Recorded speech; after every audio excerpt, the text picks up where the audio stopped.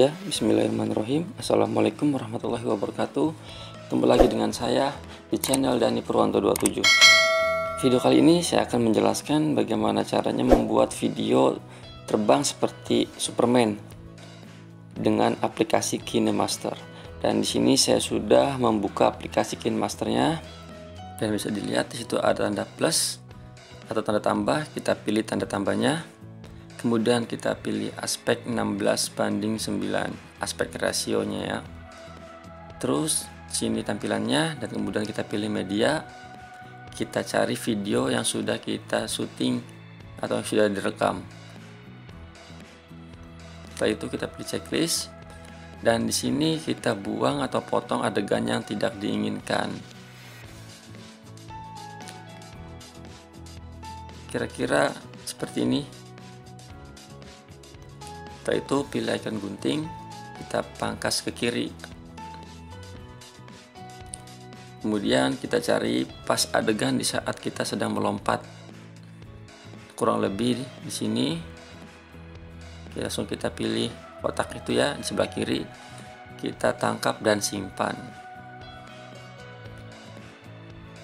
Nah jika sudah seperti ini kita ulangi lagi dari awal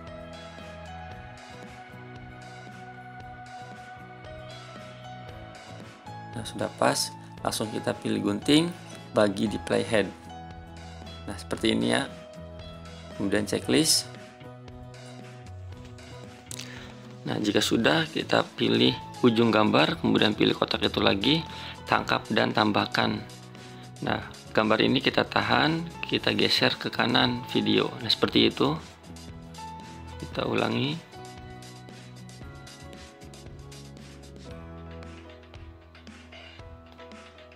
Nah, kita potong sesuai keinginan, kita checklist. Dan jika semua sudah pas, kita hapus background pada objek video kita yang tadi sudah di capture. Jadi kita hilangkan backgroundnya. Di sini saya menggunakan aplikasi eraser untuk menghapus background pada capture tadi. Aplikasinya yang ini.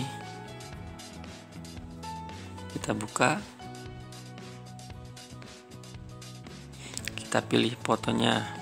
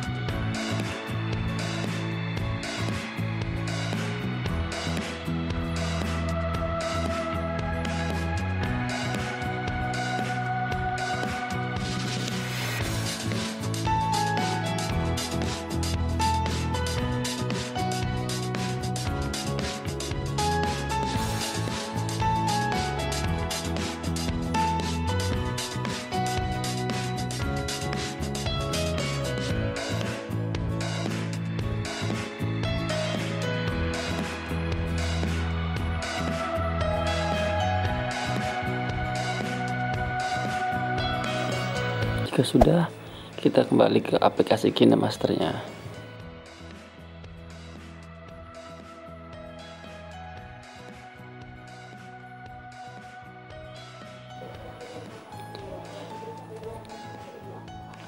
Kita paskan pada adegan saat melompat, kemudian pilih lapisan, pilih media, masukkan foto yang sudah dihapus background tadi.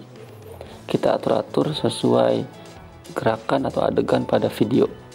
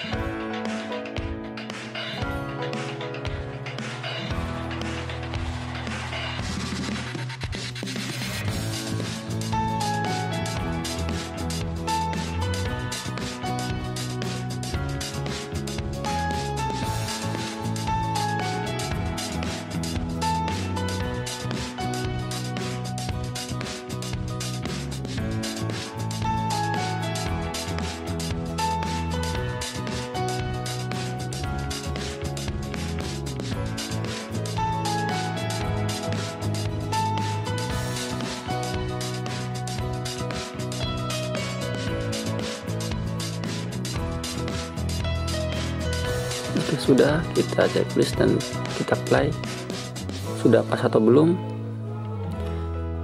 Teman-teman bisa menggunakan atau membuatnya lebih rapi lagi ya. Sini saya hanya mencontohkan dan memberitahu bagaimana caranya saja.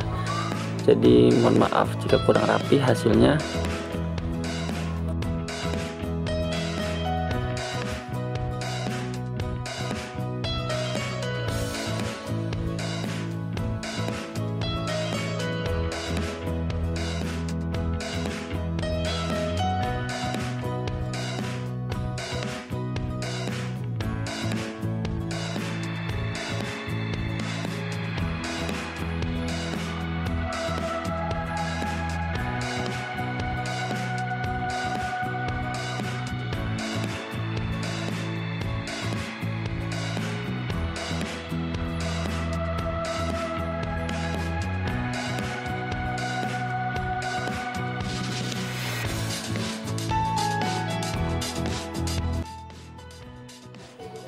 Jika sudah merasa pas, kita beri efek suara. Ini saya menggunakan efek suara pos bawaan dari aplikasi KineMaster. Teman-teman bisa download dari aplikasi KineMasternya